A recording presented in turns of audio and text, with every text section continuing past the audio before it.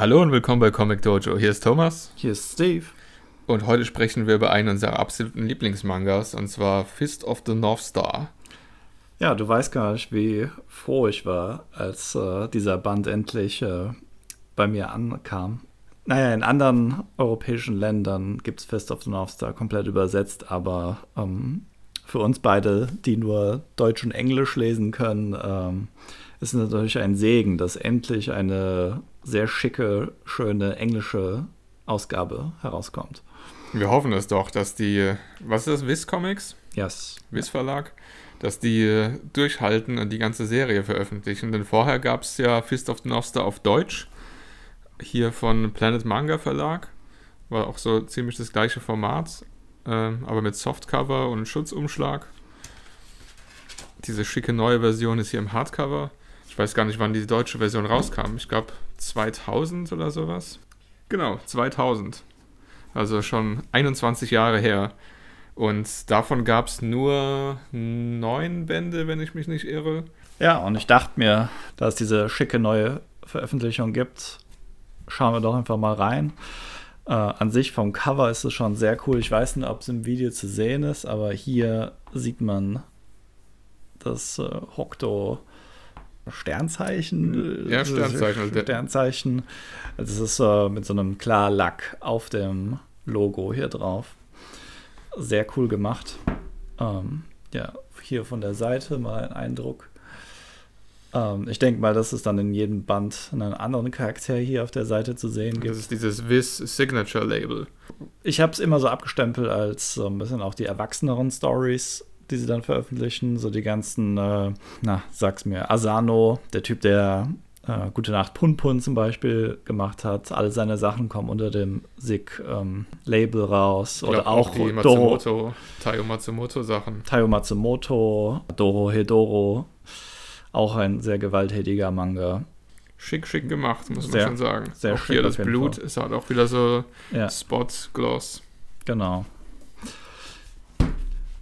Der Manga ist ein absoluter Klassiker, einer der größten shonen Manga-Hits aller Zeiten. Ursprünglich veröffentlicht in Japan von 83 bis 88, 27 Bände.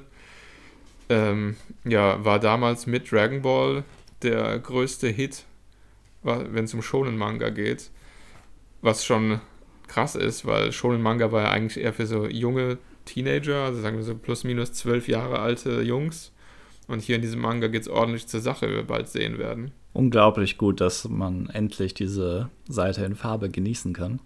Ja, sehr cool. Es Wobei so hier noch Papier. Kenshiro noch, glaube ich, in seiner schmächtigsten Form zu sehen ist. Wenn man mit dem Cover vergleicht, er ist nochmal, ja, ein ordentliches Update Ja, äh, der nochmal ganze- bekommen. Der ganze Comic fing ja an als Mad Max, ähm, ja, Mad Max Hommage irgendwie so ein Hommage bisschen. mehr oder weniger. Und Ja. das ist eher so Mel Gibson.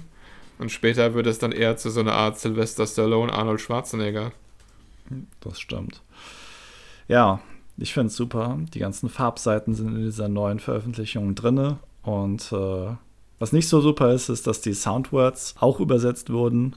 Aber Lass uns mal kurz vergleichen. Ich habe hier noch Ja. diese Raijin-Ausgabe dabei. Ja, Da ist nämlich auch das erste Kapitel von Fist of the North Star.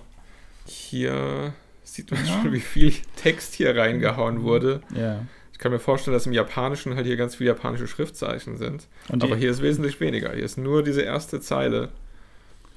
Auch und die Explosion sieht auch anders aus. Das ist eine komplett andere, übersetzt. Stimmt, das ist ganz anderes Artwork. ganz anderes Artwork. Ja. Das ist ja interessant. Auch das Gebäude, das ist komplett, komplett anderes Artwork. ja. Ganze Seite wurde nochmal neu gemacht irgendwann. Und Ich dann glaub, hier diese Doppelseite, die ist identisch. Die blieb gleich.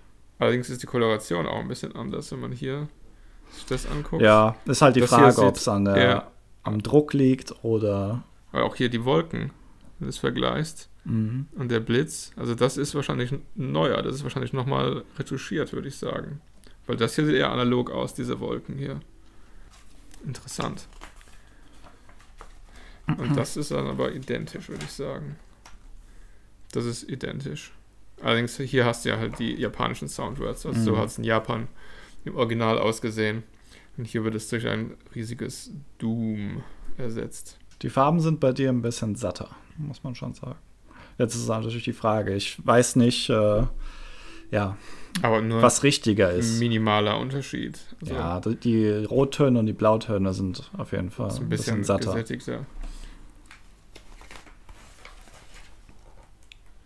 Wir sagen es ja immer, es ist eigentlich unnötige Arbeit. Man muss das, das Japanische wegretuschieren und dann andere Schriftart draufsetzen.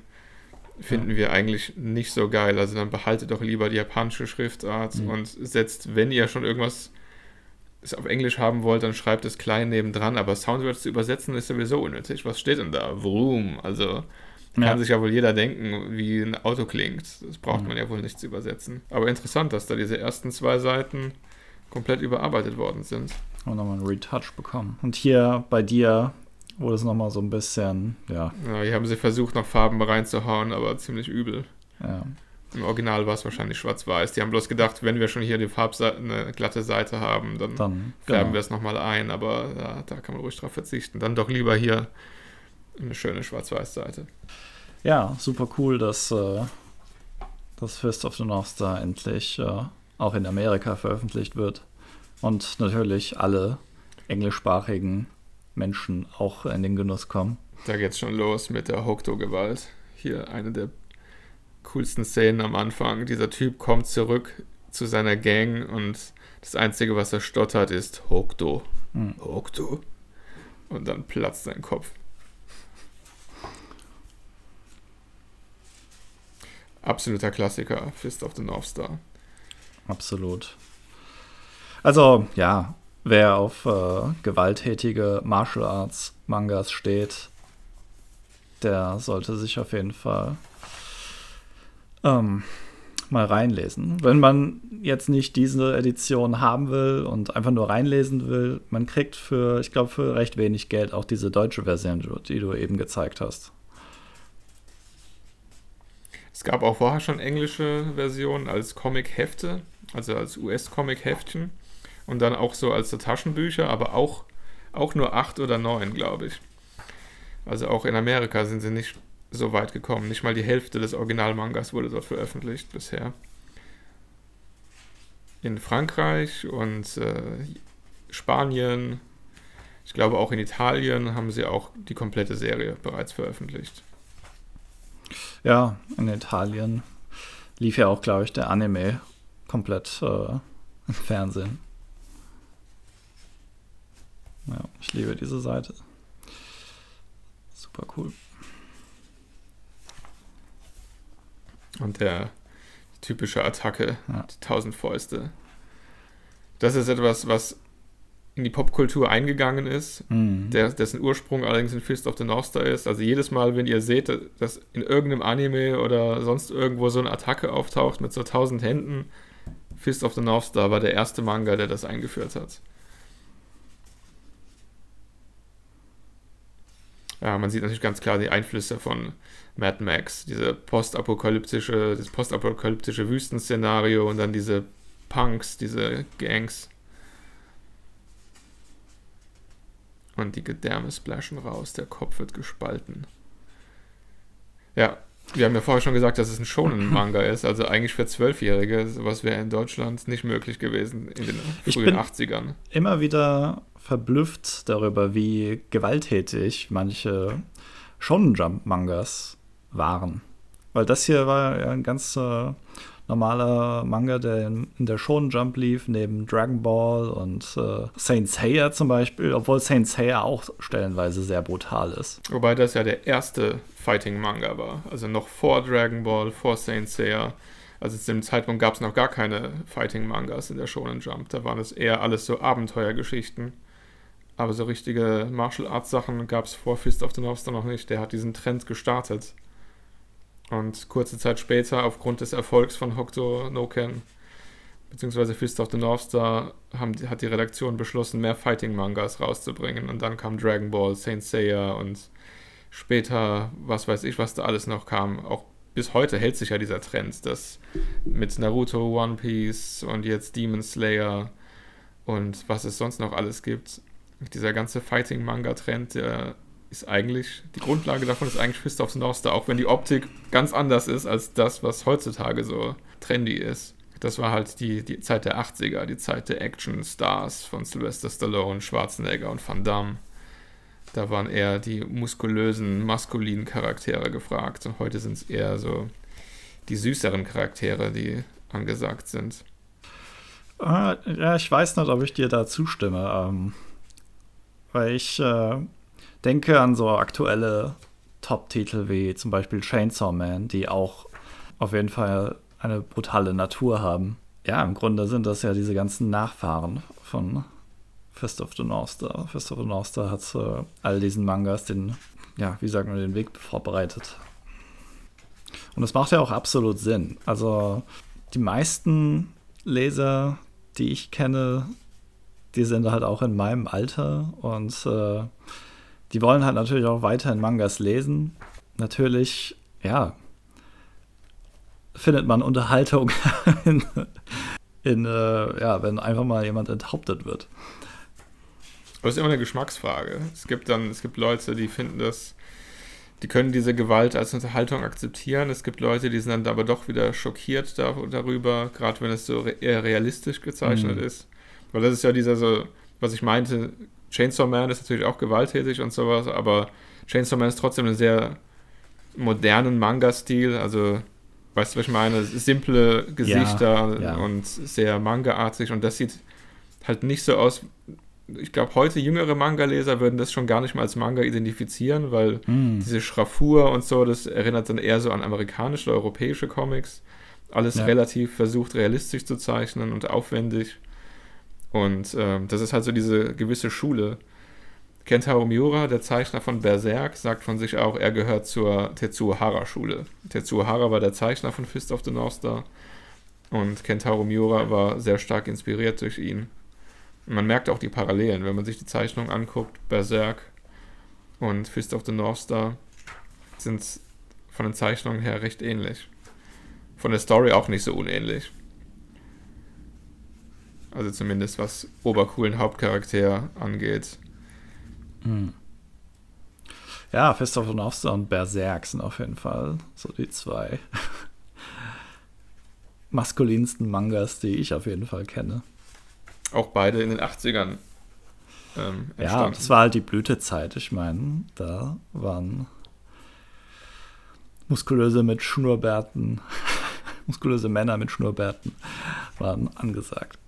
Das finde ich auch mega cool. Sowas wollte ich schon immer mal in einem Wolverine-Comic sehen, aber ich habe es mhm. noch nie. Ich weiß nicht, ob es einen Wolverine-Comic wo sowas gibt, wo sowas schon mal ge gemacht wurde.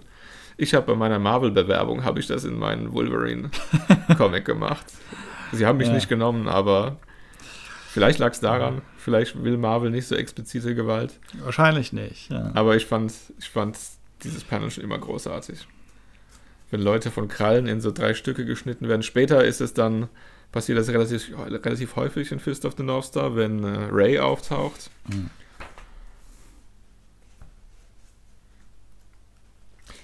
Diese Version hier beinhaltet jetzt wie viel von den japanischen Bänden? Zweieinhalb ungefähr? Äh, hm, ungefähr, ja. ja. Müssten zweieinhalb Bände circa sein. Ja, ja jede Seite sieht einfach großartig aus. Also man Tetsuo Hara ähm, schludert auf keiner Seite. Die Zeichnungen sind großartig und ich finde es umso bemerkenswerter, dass er die ganze Serie in fünf Jahren gezeichnet hat. Das ist totaler Wahnsinn. Ich mag diese Haare mit den mit dem Pinsel. allein mit dem Pinsel gemacht, ja. ja. Sieht großartig aus. Qualitativ so hochwertiges, detailliertes Artwork in so kurzer Zeit zu zeichnen unglaublich. Und der Zuhara zeichnet ja bis heute, der hat ja nie aufgehört. Mhm. Fist of the North Star war zwar sein größter Hit, aber er hat ja auch die Fortsetzung zu Fist of the North Star, beziehungsweise ein Prequel, Fist of the Blue Sky, noch gemacht ja. danach.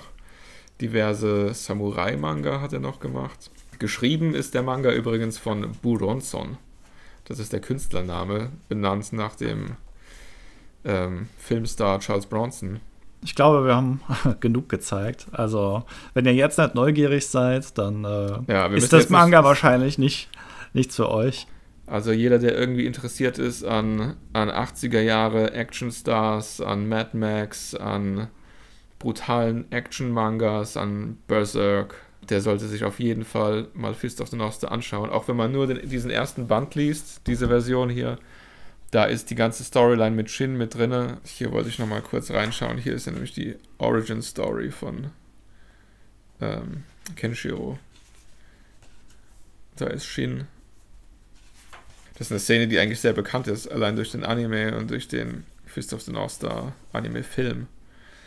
Wie Shin ihn verkrüppelt, der reißt ihn, oder schneidet ihm die Sehnen auf, dass er sich nicht mehr bewegen kann.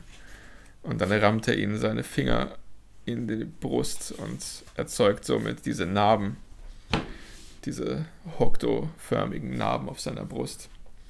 Und entführt halt seine Freundin Julia, was äh, dann die Story antreibt. Von da an geht es darum, also das ist ja das, was in diesem Band drin ist, dass Kenshiro seine Freundin zurückhaben will und deswegen gegen Shin kämpfen muss. Und später eigentlich wird der Manga richtig interessant erst danach, mhm. weil hier am Anfang Shin ist ein guter Einstieg, man erfährt so, um was es geht, um diese Kampfkunst, die Kenshiro beherrscht als einziger. Er ist der einzige ähm, Lehrling des äh, Hokuto Shinken, diesem mythologischen Kampfstil, der, dazu, der Leute dazu bringt, von innen zu zerbersten. Und dann später kämpft er noch gegen ein paar andere Gegner in den nächsten Bänden und dann, dann taucht Ray auf und man erfährt mehr über die Vergangenheit von Kenshiro. Und da wird der Manga dann erst richtig interessant, wenn dann seine ehemaligen Mitschüler auftauchen, Toki, Rao und dann, dann geht es richtig rund, weil dann hat äh, Kenshiro mal ein paar Gegner, die ihm gewachsen sind. Am Anfang ist er noch stark überlegen, aber wenn er dann seine ehemaligen Mitschüler trifft, dann, dann geht es richtig ab und dann, und dann geht die Story auch richtig los. Also ich würde sagen, das ist dann in dieser Version wahrscheinlich schon Band 2, vielleicht Band 3. Mhm. Also ich freue mich auch sehr darüber, dass diese Version endlich auf Englisch erschienen ist, äh, in einer Sprache, die ich lesen kann. Ich habe ja ein paar Bände von der französischen Version, die auch sehr schick ist. Nur leider ist mein Französisch äh, sehr schlecht bis nicht vorhanden. Merde. Merde. Sacre bleu. Sacre bleu. Okay, Thomas, du hast da auch einen fetten Martial Arts Comic am Start. Wie heißt der nochmal? Ja, mein Comic ist sehr stark inspiriert von Fist of the North Star. Und zwar ist es äh, Shaolin Grandmaster Killer. Und wenn man mal genau hinschaut, man sieht es hier auf dem Cover leider nicht, aber Kenshiro hat ja auch diesen, diesen einen verbundenen Arm. Das hat mein Charakter auch, aber aus anderen Gründen. Bei ihm ist es eher so ein Modeaccessoire, weil er hat kein, keine Wunde darunter. Er trägt das einfach so. Bei mir ist etwas versteckt unter, diesem, unter dieser Bandage. Das wird jetzt aber noch nicht gelüftet. Aber ich habe es auf jeden Fall übernommen von Fist of the North Star als kleine Hommage. Fist of the North Star war in Japan ja auch sehr, sehr einflussreich. Es gab diverse Artworks und Zeug, was auch immer, Videospiele, die inspiriert waren von Fist of the North Star. Zum Beispiel Double Dragon ist sehr stark von Fist of the North Star inspiriert und die Hauptcharaktere haben auch diese Armbandage. Ja, und mein Comic ist äh, auch ein Martial Arts Fighting Action Comic. Es geht um den gealterten, bösartigen Kung-Fu-Meister Gu, der mit seiner Vergangenheit zurechtkommen muss. Und Steve? Ähm, ja, ich habe auch einen Comic so halb am Start. ich werde den auf jeden Fall nächstes Jahr äh, so ein bisschen revampen und rebooten. Ähm, der heißt äh, Face My Fist. Da geht es um mehrere ja, Street Gangs, die gegeneinander kämpfen und um, um Territorien kämpfen. Allerdings nicht in der Postapokalypse. Nein, ja. nein. Es spielt einfach nur in, in unserer heutigen Zeit. Urbane. In, einer, in, einer, in einer ganz normalen Großstadt. Dazu mehr in Zukunft. okay, Thomas, wo findet man deine Sachen? Meine Sachen findet ihr unter thomas-lizalik.com oder auf thomas-lizalik auf Instagram. Meine Sachen findet ihr bei Instagram unter steve-slozalek oder meine Webseite steveslozalek.com. Äh, alle Links sind auch unter dem Video verlinkt und da findet ihr auch Infos zu all unseren Comics, äh, wie jetzt zum Beispiel bei mir Gashapau, Face My Fist und Detective Headache. Oder bei dir, Thomas, äh, Shaolin Grandmaster Killer oder Weapon Master und der ganze andere geile Scheiß. Schaut auf jeden Fall mal rein in Fist of the North Star, ist ein mega Manga, bis dann, bis zum nächsten Mal. Tschüss.